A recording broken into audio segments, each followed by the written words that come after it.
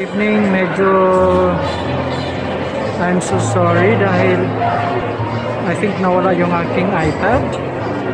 Ah, but hindi ko kailangan bumalik. I could not come back doon sa kung saan dahil I have my 6.30 So, I think 30 minutes from now, may vaccine uh, schedule. So, nandito na ako sa vaccine hub. Kaya, oh, I'm so sorry really. But I, I need to focus on this vaccine.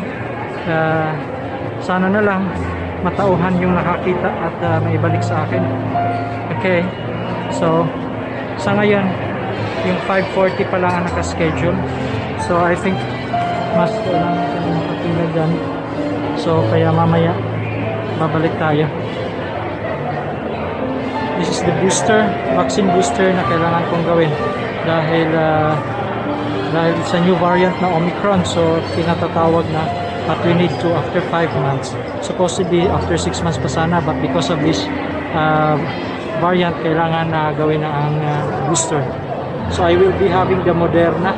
Actually, for the first two, I had the AstraZeneca. But since wala nang offer na AstraZeneca, so Moderna or Pfizer. Since Moderna ang nakita kong mas madaling i-schedule, so I have here the Moderna dito sa isang commercial center ng Rome. Okay.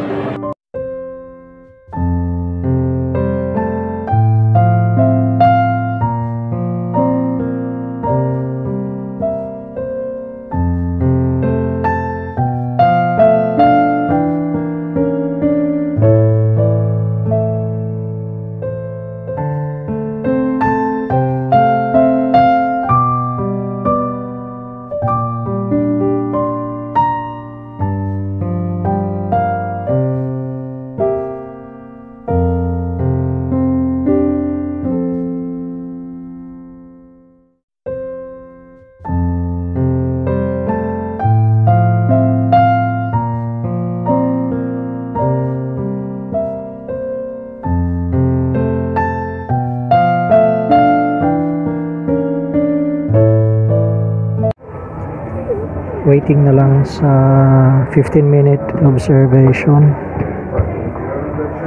Nandito na tapos na tayo sa Moderna. So antayin na lang natin yung 15 minutes. Hope everything will be fine. Yeah okay naman. 10 minutes na ang naka ano so hindi lang ako masyadong makapag video kasi it's not allowed. Eh, sarili ko lang. So hindi ko pwede ma-videoan yung nasita tayo kanina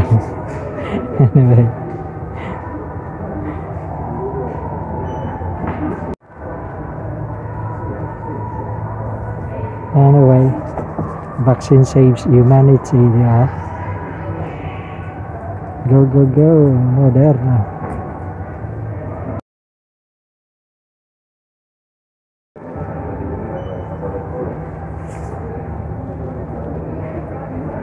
It's the waiting area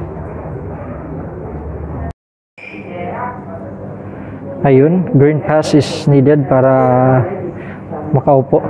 And necessary by the way naka third booster ako kagabi na ng ating ah, vaccine. Kasi kailangan for the new variant na Omicron. So nag third booster ako kagabi Moderna. Ah, yung first two ko is AstraZeneca. Wala na kasing AstraZeneca ngayon. We only have Moderna. And okay naman kagabi kasi uminom ako kagabi ng ah, ah, pain reliever. But ngayon medyo lumabas ng kasi tigas ng ulo ano. But anyway uh, makainom tayo. But sa ngayon mag-ano muna tayo. Have our cappuccino. Okay? Two days before Christmas. Isa sa mga of course mga kainan. So kung ah, hindi mo bitbit si Green Pass na tinatawag hindi ka pwedeng magkakain sa loob. So you just stay outside. So sa labas ka lang kaya ayan that's hindi lang yan. Marami pang limitations. Kung walang green pass ha, limited ang freedom. Hindi ka pwedeng sumakay ng mga public buses kasi pag ma mayroong mga random check at matsimpuhan na hindi mo wala kang green pass at sumakay ka ng public transport multa you have to fine 400 to 1,000 euros. Kaya well talagang obligatory for safety ng taong bayan. COVID is not a joke. Vaccine saves humanity.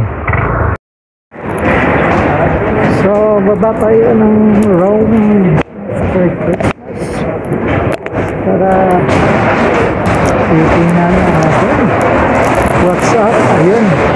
What's up na? May mga pagbabago sa protocols. Need na ang F FP2 mask sa mga public transport. So nag uh, took effect na. At uh, may mga penalty kung uh, huli well marami-rami pa rin. Kasi siyempre kaka ka, ano lang ng uh, measures mga 2 days ago. So mayroon pa rin iilan na still having the surgical mask. Pero mostly marami na rin ang aware especially sa mga stations na mag ano, F FP2 mask. Kaya na. Ma mostly naka FFP2 bilang na lang ang mga surgical. Kasi may mga controls din naman na mga gagawin. So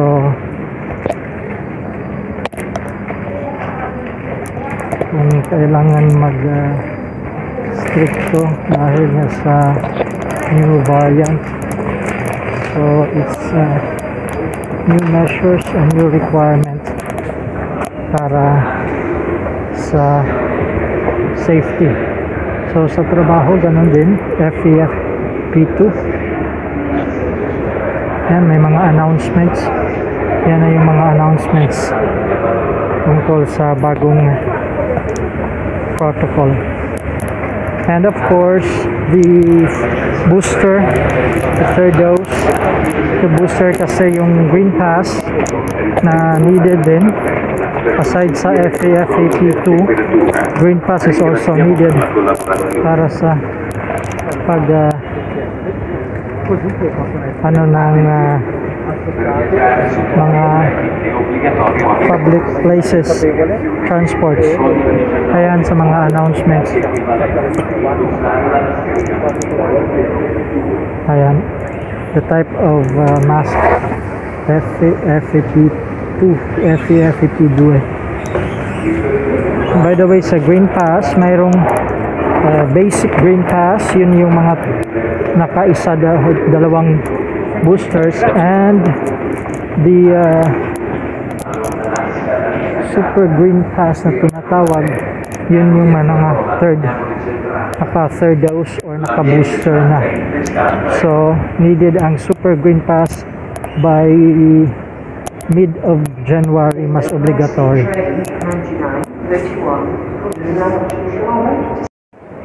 Punta lang tayo sa pharmacy kasi may mga gamot tayong kukunin. And of course i sa printing na rin natin sa ating uh, the uh, green pass pwede dito kasi ipapaprint. So kunin lang natin yung ating green pass. Kasi naka third booster the super green pass.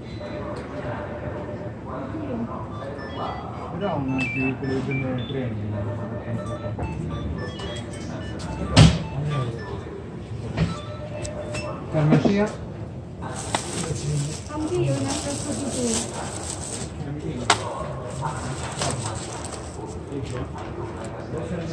Via, Pua- allora, farmacia, Puania, ti- So balikan na lang yung green pass kasi hindi pa daw updated yung system.